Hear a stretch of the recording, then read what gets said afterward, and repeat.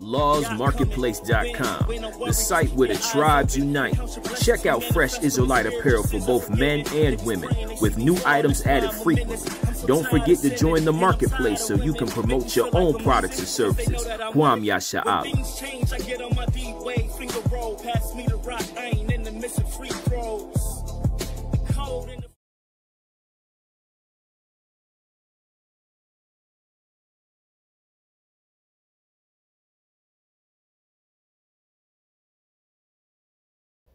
Shalom, family.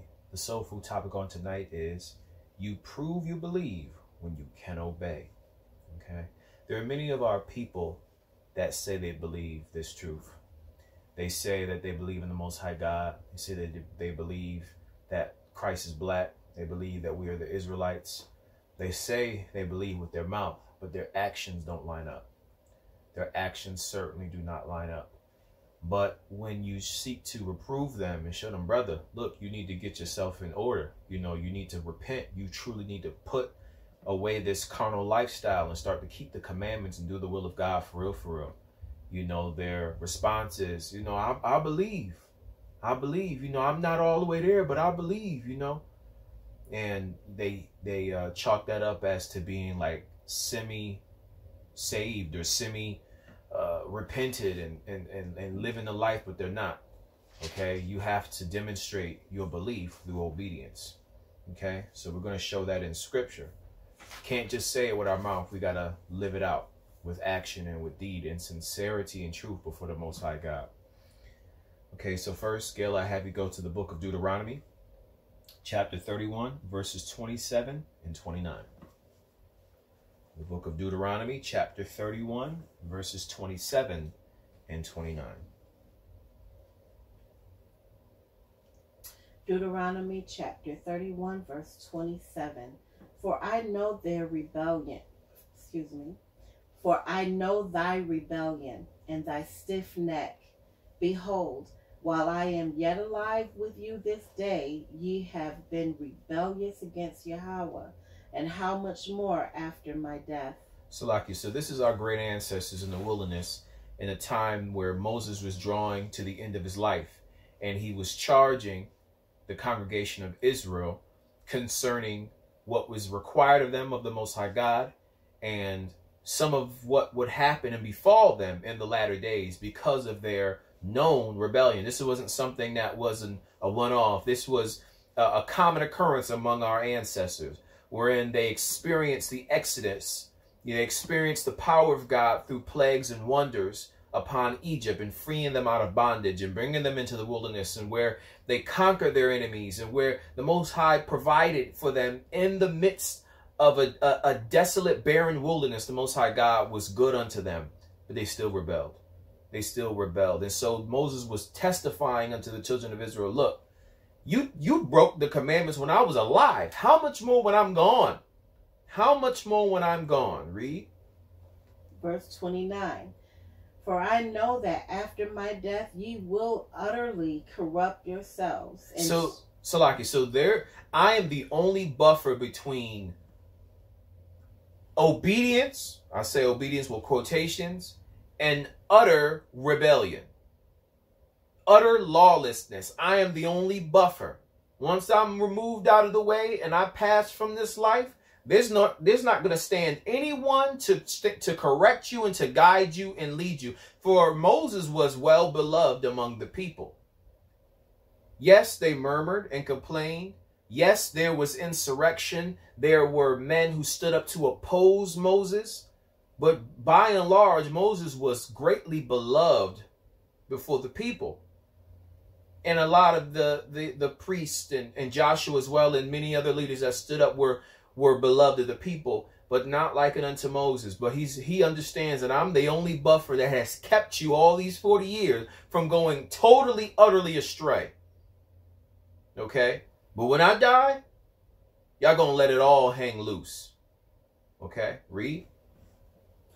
Verse 29 For I know that after my death you will utterly corrupt yourselves and turn aside from the way which I have commanded you, and evil will befall you in the latter days, Mm. because you will do evil in the sight of Yahweh, to provoke him to anger through the work of your hands. What was that? 29. So you went 27 to 29? Oh, you said through? You just No. said 27 in the comma. Yes. So did you just do 27 and 29? Yes. Okay. All right. From there, I want you to grab Exodus chapter 24, verse 7. Exodus chapter 24 and verse 7. So you see that Moses charged the people saying, Look, you better get it together. Once I die, I know you're going to go off. I know you're going to go off. Read. Exodus chapter 24 and 7. And he took the book of the covenant and read in the audience of the people. And they said, All that the that Yahweh have said we will do and be obedient. Okay. So I brought up Deuteronomy first because I want to show how our ancestors disobeyed and went went aside from the covenant um promise that they made or oath that they made before the most high God. So again the topic is you prove you believe when you obey. Moses towards the end of his life, towards the end of the wilderness wandering, testified to the people that the Most High showed me when I die, you're going to go a, go a whoring. You're going to go after other gods in the latter days. You're going to be afflicted because of these things. Okay? But we brought out in Exodus that, and this was towards the, the, the beginning of the wilderness wandering, that Moses sprinkled the blood. He opened up the book of the law, read it before the people, and sprinkled the blood and made a covenant. Okay? He was as the uh he was made proxy between the most high God and the children of Israel. Moses stood as proxy to bind the covenant between two parties. Okay? And the people sealed this covenant, sealed this promise, this spiritual transaction by saying amen or yes, we will obey. But then you see in Deuteronomy that Moses is testifying that you broke this covenant already. You sinned and have rebelled against the Most High God, and you're only going to break it the more once I die. Read verse 7 again in, in uh, Exodus 24.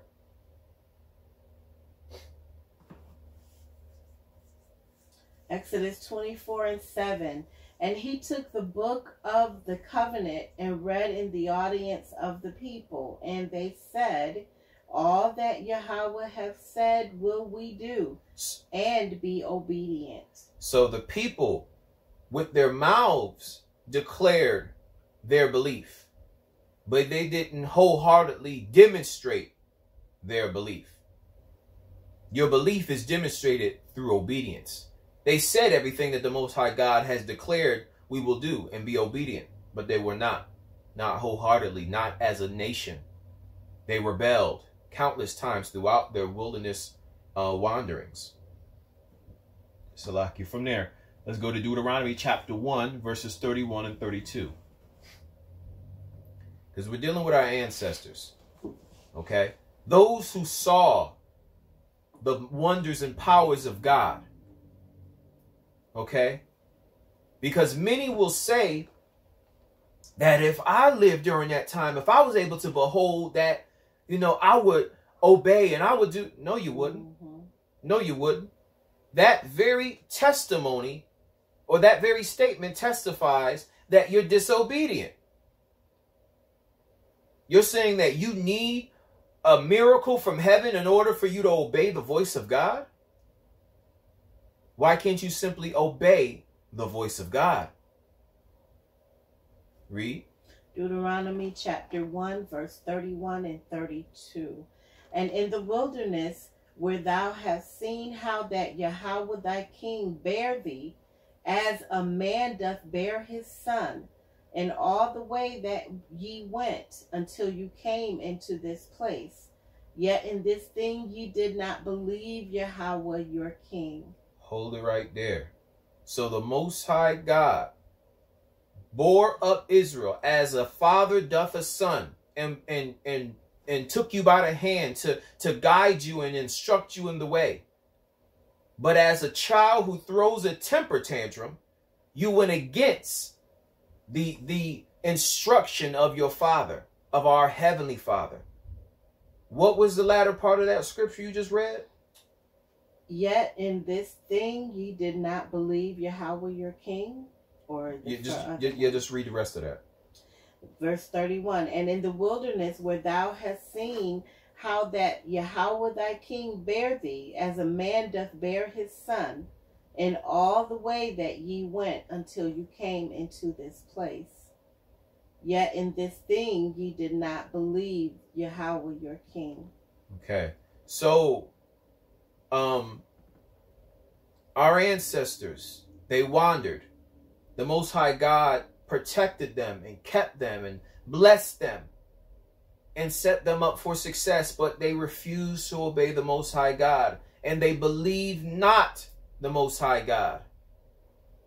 They believed not they beheld the miracles, they beheld the wonders, they beheld the hand of God in their lives, but they believed not.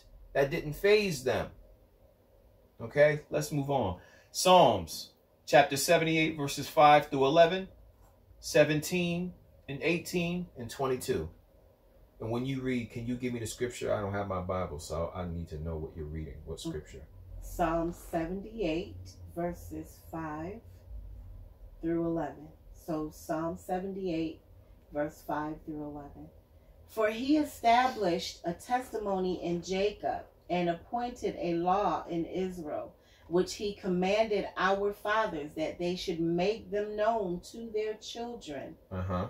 That, that the generation to come might know them, even the children which should be born, who should arise and declare them to their children. Verse 7 that they might set their hope in Yahweh and not forget the works of Yahweh, but keep his commandments.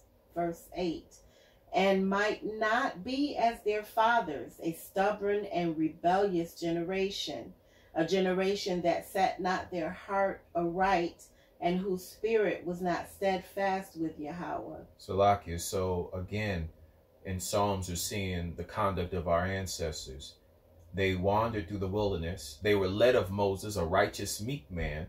Okay, they were given the commandments and testimonies of God. Okay, they saw the power of God. They saw the miracles. They saw the wonders, but they rebelled still.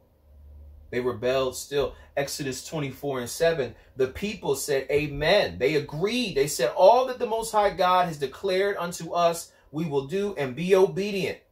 But time and time again, we're seeing, whether it be Deuteronomy 31 or Psalm 78 here, that our ancestors rebelled. They rebelled. They went against their own word. They said they will be obedient, but they were not obedient. They were disobedient. Read on. Verse 9 The children of Ephraim, being armed and carrying bows, bows turned back in the day of battle. They kept not the covenant of Yahweh and refused to walk in his law. Mm. Verse 11. And forget his works and his wonders that he had showed them. Um, verse 17 through 18. And they sinned yet more against him by provoking the Most High in the wilderness. Salaki, so our ancestors not only turned back on their own word and rebelled, but they showed what spirit they they they walked in. They walked in the spirit of rebellion. This wasn't a one-off thing. This wasn't a moment of weakness where they were in the flesh and did something they shouldn't have done and walked in disobedience, but when they continue when you continue to do something, you're showing this is who you are. This is who you are. You're not an obedient individual who made a mistake. You're a disobedient individual. You have a lifestyle and a and a way a, a way of life that is against the most high God. You don't seek to do his will, but transgress his commandments by doing your own thing. And this is what our ancestors were doing time and time and time again. Moses testified towards the end of his life. Look, Y'all already rebelled countless times. How much more when I die? But the Most High God gonna punish you because you made a covenant agreement with Him. When I opened up the book and read it to you, and you agreed and I sprinkled the blood, it sealed the covenant. But you broke it once, twice, three times, four times, countless times. And you're going to be punished in the latter days concerning these things. The Most High God don't want to hear your words. He heard your words already. He wants to see action. He wants to see a lifestyle change. Read. Verse 18 And they tempted Yahweh in their heart by asking meat for their lust. Mm. And verse 22 Because they believed not in Yahweh and trusted not in his salvation. They trusted not in his salvation. They did not believe. They did not believe.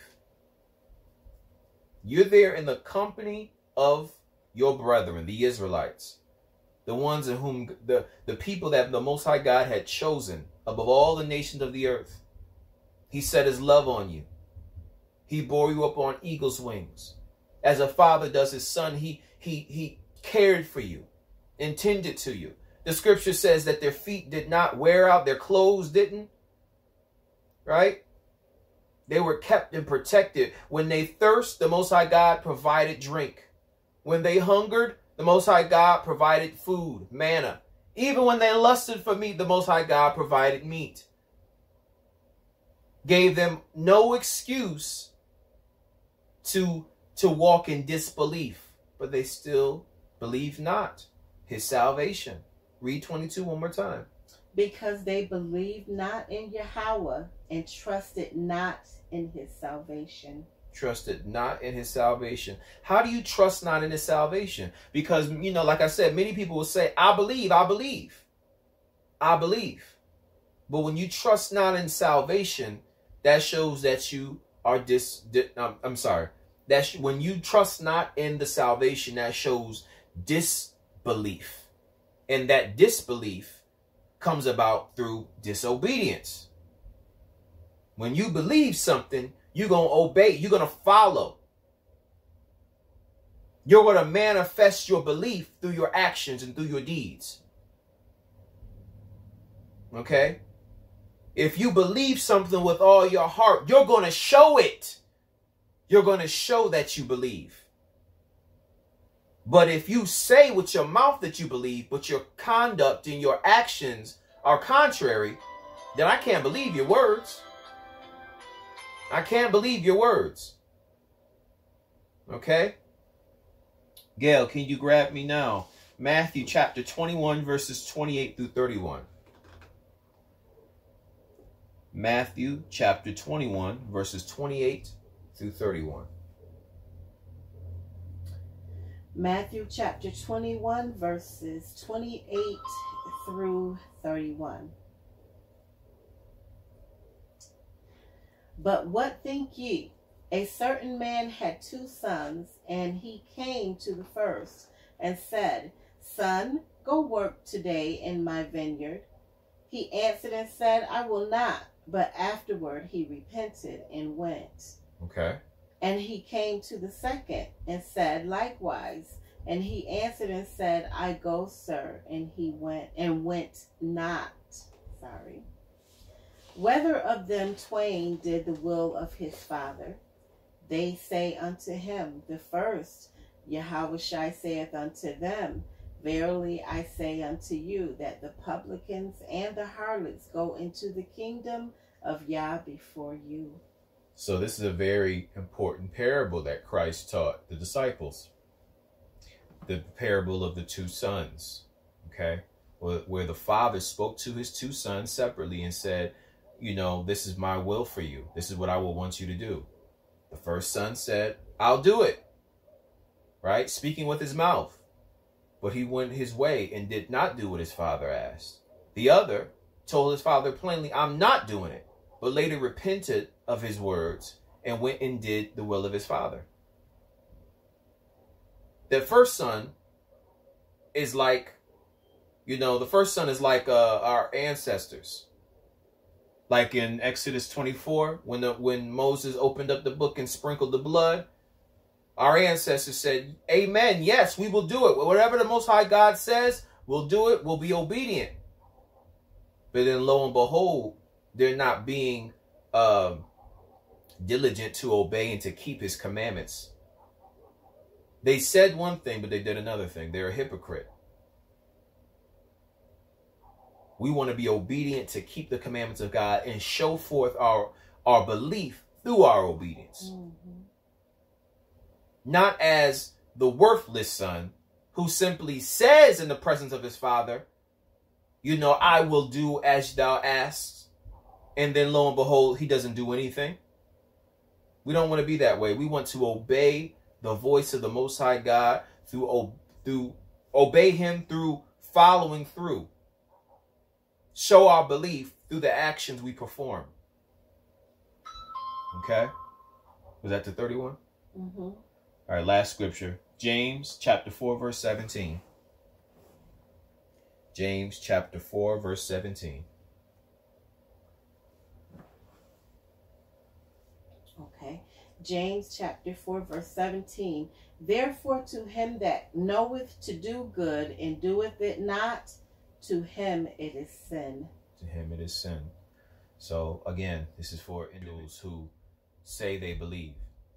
Say that, you know, I, I, I believe this this truth. I walk this life. If you say you doing it, but you not if your life does not testify to it, you a liar. You a hypocrite. You're not really about this thing. You're not really about this thing. You those are just vain words, empty words. They mean nothing. They mean nothing to man, they mean nothing to God. Read read the verse again, one more time. Verse um chap James chapter 4 verse 17. Therefore to him that knoweth to do good Salakia, this is for the individuals that say they believe this truth. You sat in and heard the lessons. You hear the precept being brought out. You say you believe that we the Israelites. So you know what's required of you. Just like our ancestors. They were there and it was the book was open and it was read before them and they raised their hands and said, Yes, we obey. You know to do good, but you don't. But you profess with your mouth that you're obedient. You profess that you believe. Your words don't mean anything. When we read in, in Psalms, the latter part of chapter uh, uh, 78, where it says that they believe not in the Most High God and followed after into salvation, it wasn't because they didn't say the right thing, because they didn't do the right thing. There wasn't disbelief because they spoke in disbelief. It was disbelief because they did not obey. We, we need to really see this thing. It's not about just lip service to the Most High God. It's about manifesting righteous works. Read 17 one more time. Therefore, to him that knoweth to do good and doeth it not, to him it is sin. It is sin. Because you know the righteous way, but you have failed to walk in it. Okay? So you're going to leave it right there and finish the rest another time. Shalom.